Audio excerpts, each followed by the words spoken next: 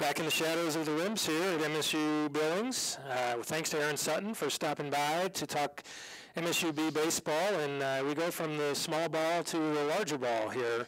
Uh, softball, also a sport that uh, has a place here at MSU Billings, and uh, uh, in the fall and in the spring. And some firsts here. Aaron Sutton, first year baseball coach, and first year softball coach Jess Rayman, who tells me she's doing her first interview, she thinks. Welcome, Jess, to the program. Hello. No pressure. No pressure. Welcome to Billings. Thank you.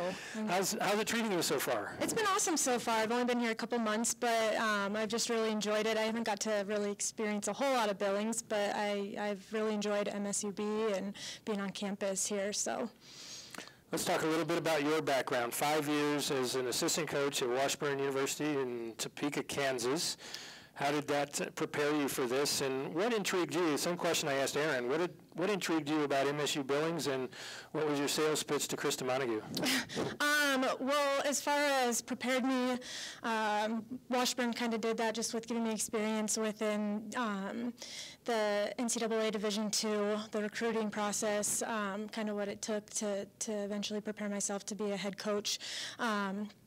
And as far as MSUB, I really, the biggest thing was the location. I saw the job open and I knew I wanted to apply because I'm originally from Colorado and it kind of reminds me a lot of home and I like the area. Um, and then as, as far as the school goes, I knew it was a place that I could recruit kids to and, you know, with the smaller class sizes and stuff like that, um, that was a huge part of that.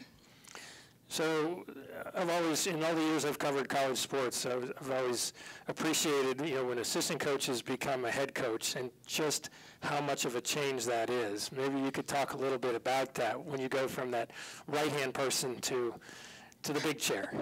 It's it's been quite the change. I've I've really enjoyed it. Um, it's been awesome so far, but I definitely lose a lot more sleep at night. Um, you know, it's a different relationship with the student athletes. Um, when you're an assistant, you can kind of be a little bit more mediator and um, a little bit more involved with them. But as a head coach, you're kind of more of the strict person, and so I've kind of had to change that that role and you know really try to set the tone for them, what I expect my program to be, and what I want MSUB softball to be. You're not the good cop anymore. Not the good cop anymore. I was always the good cop before, and I'm not not anymore. so, uh, what kind of transition is that for you personally? Um, I've really enjoyed it. I was ready for it, and um, you know, I just I was excited for it, and it's nice to be able to do things my way and kind of feel you know, have a little bit more say. Because when you're an assistant, it's kind of like, well, if she says no to this, then you know she says no. But um, here at MSUB, it's kind of like I get the final say on things, so it's kind of nice sometimes. Same question I asked Aaron as a first-year coach. You know, when, when you come in, your first day in the job, where do you start, and what is the what kind of blueprint do you bring with you? Um, I started mostly with trying to get to know the, the team, um, the student athletes. I really wanted to start that connection with them, especially starting in August. Um, it was right into almost getting started with our fall season, and so I wanted to get to know the, the upperclassmen and the ones that were in town, so they would stop by and, and that kind of stuff. Um, so I just. Uh, um, getting to know the community and getting to know yes, the players. Yep, and then just kind of getting started with the recruiting side of thing, getting my name out there within Montana, and you know what what type of kids we can recruit into MSUB.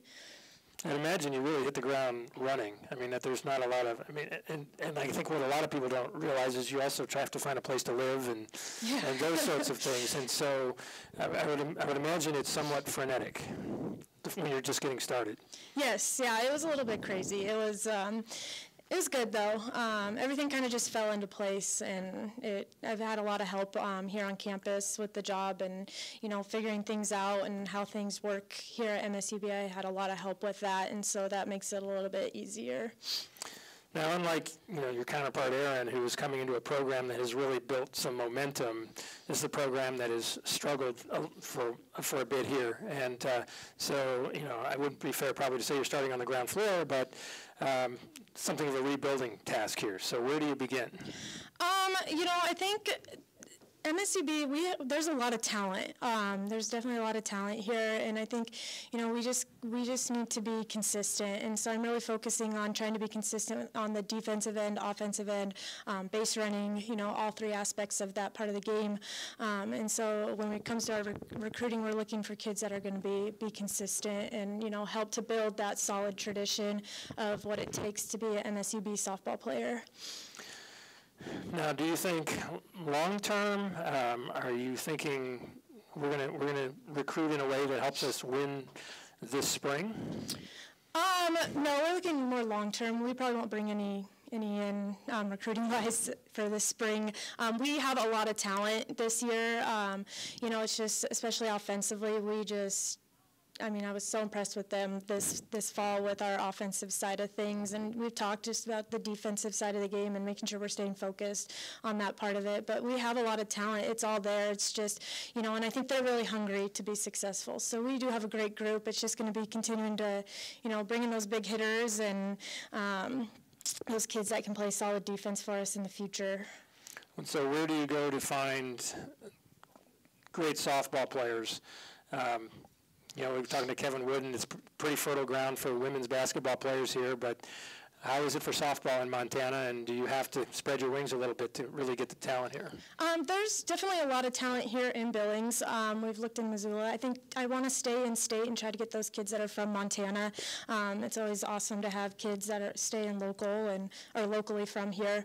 Um, you know, we're kind of looking in you know the Washington, California, Colorado area as well. I think you with some of the kids you, or student athletes, you have to go um, out of that range a little bit. And but I definitely want to stay locally and recruit those Billings, Montana, because there is a lot of a lot of talent around here for sure.